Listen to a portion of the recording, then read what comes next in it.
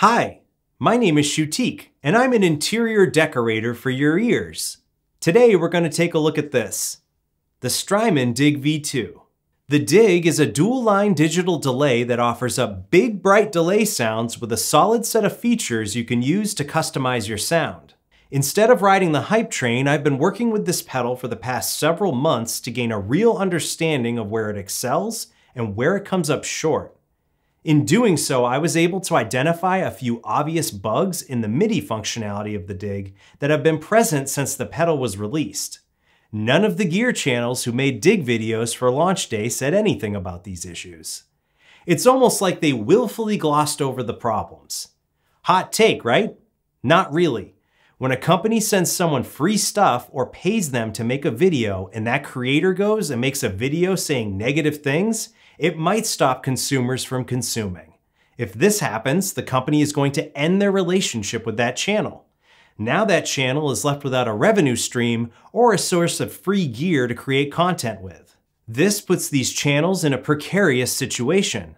They can either lie and omit issues they've discovered while making their videos, or choose to only review gear when they only have positive things to say about it.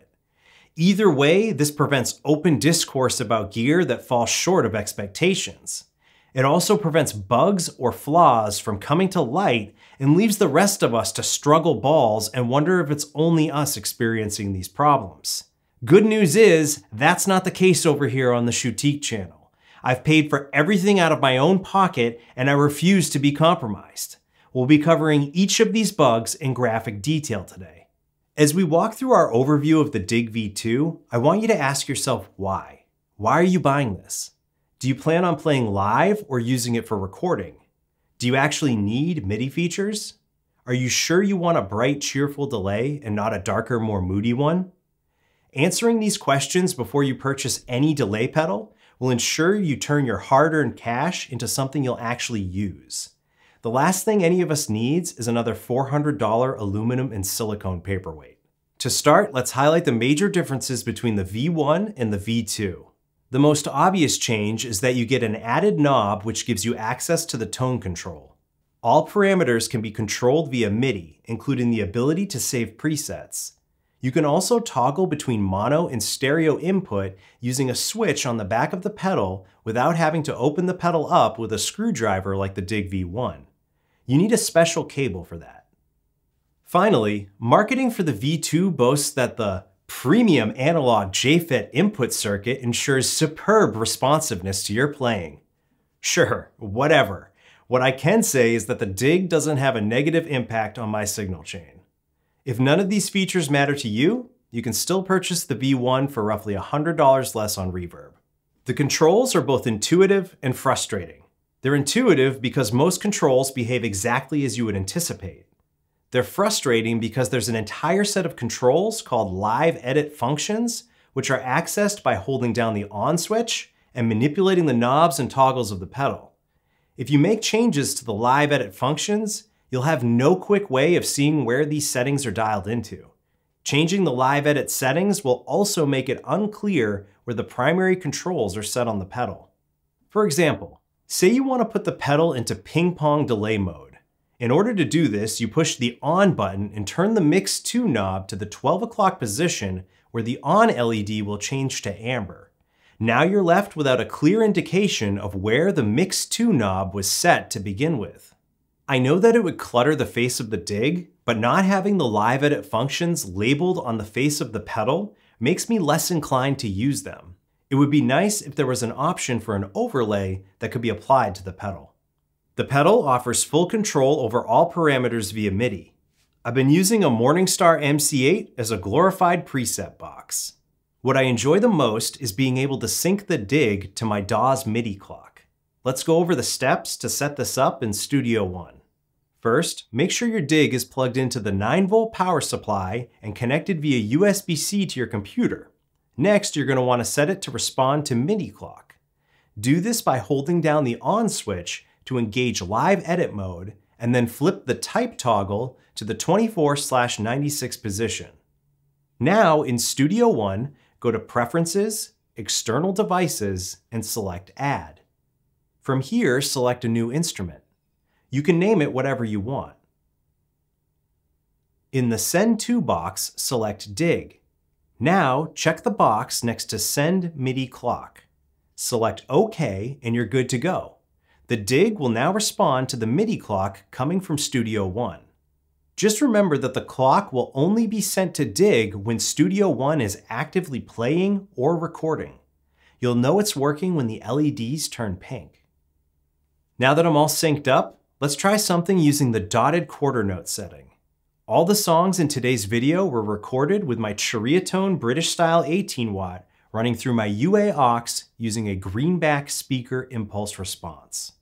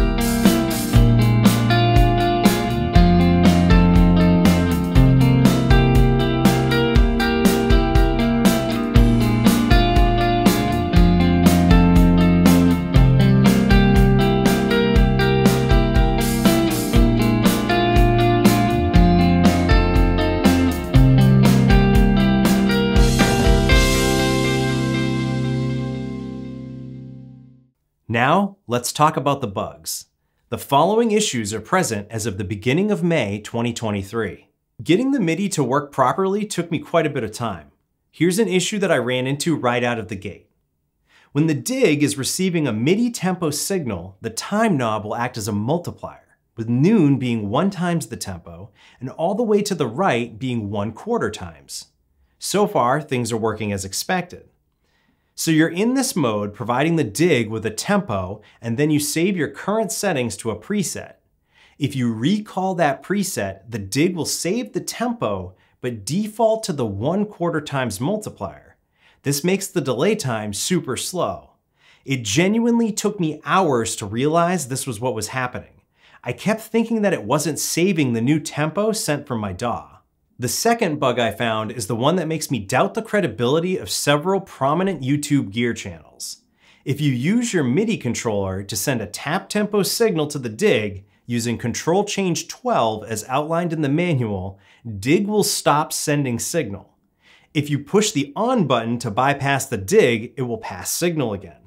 The dig pedal will not pass signal in the on position until you unplug its power supply and plug it back in again. Other gear channels have glossed over this issue by tapping the tempo into their MIDI controller and then sending that tempo to the dig. So what do you do to get around these issues? Well, there's an updated firmware version 1.12 which corrects these issues, but the only way to get a hold of it is to directly contact Strymon. The Strymon update application doesn't provide this update on its own.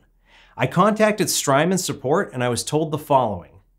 The hotfix for these issues was first made available roughly two months after the Dig V2 launched. The hotfix has not passed Strymon's QA process. New units are shipping with the 1.11 version. This means that if you buy a new Dig, it will have these MIDI bugs and you'll need to contact Strymon for the update. Lastly, installing this update will wipe out all of your presets. On another note, there's no compatibility with the Strymon Nixie preset editor yet, so I can't share or back up any of my presets. Strymon has stated that they will be updating the pedal firmware in Nixie software to enable this feature, but there is no planned date for this. My understanding is that installing the Nixie compatibility update will also erase your presets. The reason I'm bent out of shape by this is because I spent hours trying to figure out what I was doing wrong when it was the pedal itself which had issues. It's great that there's an update which addresses these problems, but it's not great that users will only learn about it once they've encountered and wrestled with these bugs. I'll update the notes in this video once the update fixing these MIDI issues is made available via the Strymon update software. I have psychotic tendencies, so I take apart all of my gear as soon as I get it. There isn't a whole lot to see inside this one, but there was one thing worth mentioning. When you open up the pedal, you're greeted by this abomination. I'm not sure if this is an old Strymon logo or what. So, what do I think about the Strymon Dig V2? Well, the pedal offers up some solid bright delay sounds, and the dual delay aspect certainly makes it a unique piece of gear. I find that I enjoy it the most as a platform for generating new ideas. If you're playing live, especially with a MIDI setup, the Strymon Dig might be the pedal for you. It definitely sounds good. For my purposes, I would prefer the Dig in plugin format. This would make it significantly easier to put together songs. When you're recording and comping together takes from layers, keep in mind that you'll need to edit in a way that accounts for both the mistake in the repeat of the mistake that comes afterwards. It took me a bit to grasp this concept as I was editing the music for this video. If the dig were being used as a plugin, you would be editing the original dry take and you wouldn't have to consider this in your editing workflow. There's a free plugin by Kiloheart called Dual Delay that does a great job with the whole dig thing. Check that one out if you want to dip your toes without spending any cash. When it comes to the MIDI issues, I'm bummed that they aren't being addressed with transparency. The fact that the pedal is being shipped with buggy firmware when there is an update available is very frustrating. These days, I'm recording and not playing live, and for that purpose, I do not recommend the Strymon Dig. It's just been way too much of a pain in the ass. I was originally going to make three songs for this video, but working with the Dig just stopped being fun, so I had to call it at two. It's unlikely the dig will get much future use from me. It's not all for nothing though. The power supply that shipped with the unit is top shelf and gets a ton of use with other pedals with high current demand. I give the Strymon Dig V2 a bill for the three hours of my life that I wasted thinking I was a hopeless moron when in reality I was just dealing with a buggy product.